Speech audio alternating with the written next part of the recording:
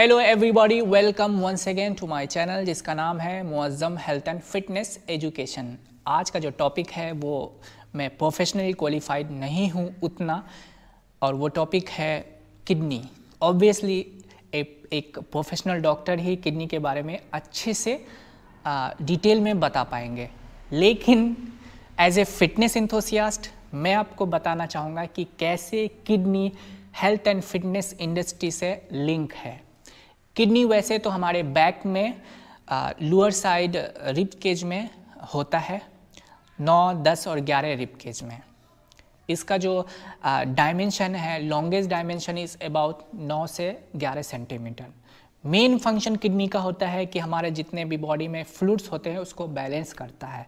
Blood pressure जो है, उसको रेगुलेट करता है। तीसरा फ़ंक्शन जो होता है हमारा, जितना भी हम कुछ खाते हैं वेस्ट प्रोडक्ट को फ़िल्टर करता है।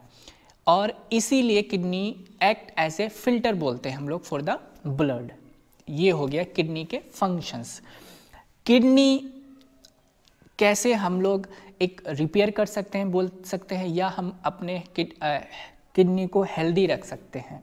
डायरेक्ट कनेक्शन कैसे है मैं आपको बताता हूँ. एक तो हुआ स्मोकिंग जो बंदा स्मोक करता है उसके किडनी में इफ़ेक्ट करता है ये सब जानते हैं. हेल्थ से मैं ये लिंक कराने की कोशिश करूँगा कि जो बंदा फिटनेस इंथोसियास्ट होता है, वो ज़िंदगी में कुछ हो ना हो, अपने बॉडी का ज़रूर ख्याल रखता है। इसीलिए उसके लिए बहुत आसानी है स्मोकिंग छोड़ना। वो जितने भी बैड हैबिट्स है, जितने भी उसके बॉडी को हार्म करता है, वो आसानी से उसको छोड़ देता है। तो quitting smoking is very easy for a enthusiastic health enthusiastic person दूसरा आपको जो स्मोक नहीं छोड़ पाते हैं, उसके लिए मैं एक वार्निंग दे रहा हूँ ये कि ओवर सेवन थाउज़ेंड केमिकल जो है ना, वो हम लोग इनसाइड लेते हैं स्मोकिंग के ज़रिया। तो कितना डैमेज होता है हमारे बॉडी से स्मोक करने से। दूसरा पॉइंट जो है, वो कैसे लिंक है किडनी, वो है हमारा हार्ट प्रॉब्लम्स हार्ट प्रॉब्लम अगर होगा तो किडनी प्रॉब्लम होगा, क्योंकि one fourth 25 percent of what heart pump goes to the kidney 25 percent जो है ना, जो हमारा हार्ट पंप करता है, वो डायरेक्टली हमारा किडनी में जाता है। तो हार्ट हेल्दी रहेगा तो किडनी हेल्दी रहेगा। और हार्ट हेल्दी के लिए हम सब जानते हैं कि फिटनेस एक्सरसाइज कितना ज़रूरी है। कार्डियोवास्कुलर एक्टिविटी करके हम अपने हार्ट को हेल्दी रख सकते हैं। तीसरा जो पॉइंट है इम्यून प्रॉब्लम इम्यून प्रॉब्लम होगा तो किडनी प्रॉब्लम होगा। और इम्यून सिस्टम को हम कैसे बूस्ट करते हैं, कैसे एक हेल्दी पर्सनस बूस्ट कर सकता है, अगर जितना एक्सरसाइज करेगा, जितना वर्कआउट करेगा, जितना फ़िज़िकल एक्टिव रहेगा वो, उसका इम्यून सिस्टम उतना ही मज़बूत रहता है। इम्यून सिस्टम मज़बूत रहा, आपका किडनी मज़बूत रहा।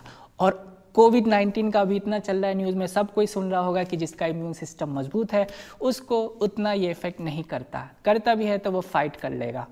तीसरा मैं आपका पॉइंट बताता हूँ कि जो लिंक है हमारा किडनी से और फिटनेस इंडस्ट्री से। इससे पहले मैं आपको बताता हूँ कि हम दूसरी तरह किडनी को कैसे हेल्दी रख सकते हैं या टॉक्सिन आउट कर सकते हैं रिपेयर कर सकते हैं। पहले तो मैं बताऊँगा कि आपको कि make sure that you are taking a enough water और वाटर ही एक ऐसा लिक्विड है। Water is only the liquid that we can clean out ये नेचुरल क्लीनर लिक्विड बोल सकते हैं हम लोग को। हम लोग बाहर भी सफ़ाई के लिए वाटर का ही ज़रूरत पड़ता है और इंटरनली भी वाटर ही ऐसा काम करता है जो बॉडी को क्लीन करता है। इवन कि बहुत सारे बैक्टीरिया जो हार्मफुल बैक्टीरिया होते हैं, उससे फाइट करता है हमारा water so make sure that you are taking enough water और भी डाइट्स में हाँ अगर आपको life style better life style करना है तो आपकी ज़िंदगी में दो चीज़ होना ही होना चाहिए। एक एक्सरसाइज दूसरा डाइट डाइट के बारे में बात करते हैं, जैसे आप ले सकते हैं oat meals is a very rich source of iron and vitamin B six जो एक्सेस इसको हम लोग बोल सकते हैं कि प्रिवेंट करता है किडनी स्टोन्स होने से। ओट्स मिल और ओट्स मिल का मैं ऑलरेडी बहुत फ़ायदे बता चुका हूँ एक वीडियो में कि ये कॉम्प्लेक्स कार्बोहाइड्रेट है। थ्रू आउट द डेज़ हमको एनर्जी देते रहता है।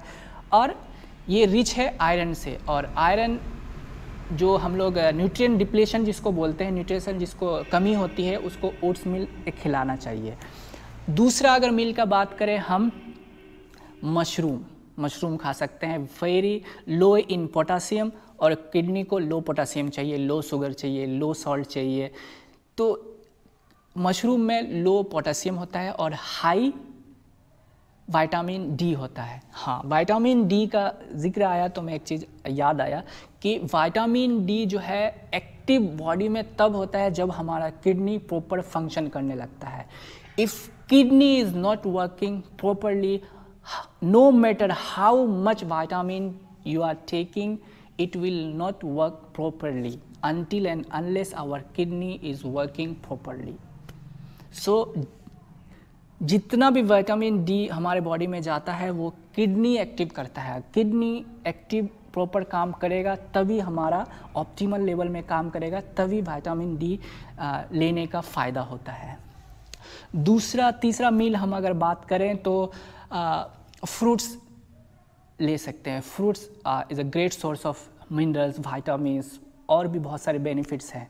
जहाँ फ्रूट्स का बात आए nothing can beats an apple when we are talking about a best fruit अगर वो बोलते हैं ना कि an apple keeps a doctor an apple a day keeps a doctor away तो ये कहावत बिल्कुल सही है, क्योंकि एप्पल जो है वो रिच होता है हमारे विटामिन सी से।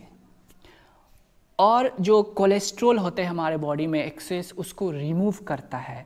दूसरा जो हमारे हाई ब्लड प्रेशर होता है, उसको स्लो डाउन करता है एक apple so apple is a very good source इसीलिए इसको फलों का राजा कहा जाता है.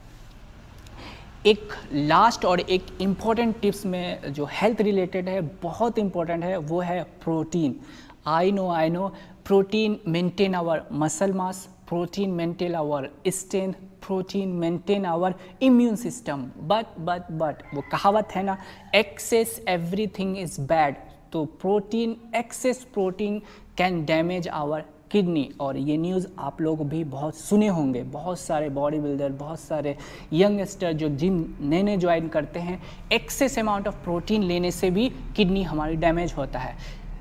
कितना प्रोटीन लेना चाहिए? मैं ऑलरेडी एक वीडियो बना चुका हूँ उसको। उससे ज़्यादा अगर प्रोटीन हम लोग लेते हैं तो क्या होता है कि हमारी body can't absorb those extra proteins. तो वो क्या होता है? यूरिनेट हो जाता है। इसका मतलब ये हुआ कि किडनी डैमेज हो रहा है हमारा। So please do not take excess amount of protein protein ही क्यों? कोई भी चीज़ एक्सेस ना करें।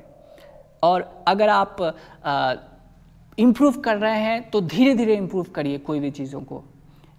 सडन चीज़ें जाएँगे आधी अधूरी नॉलेज लेके तो वो बहुत नुकसान करेगा। लास्ट में मैं यही कहूँगा कि I am a research scholar मैं जानता हूँ समुंदर में से आ, सुई कैसे खोजा जाता है। मैं इस टॉपिक में उतना प्रोफेशनली क्वालिफाइड नहीं हूँ but but as a research scholar मैं I do lot of research specially जब इस तरह का मैं वीडियो बनाता हूँ तो मैं बहुत प्रोफेशनली लोगों को सुनता हूँ बुक्स पढ़ता हूँ क्रॉस चेक करता हूँ, तब जाके ये वीडियो बनाता हूँ। But but but whenever you need a professional medical advice any diagnosis any treatment please please consult your physician and never, ever disregard a medical professional advice. इस वीडियो में बस इतना ही। फिर मिलेंगे किसी और वीडियो में। तब तक के लिए गुड बाय थैंक यू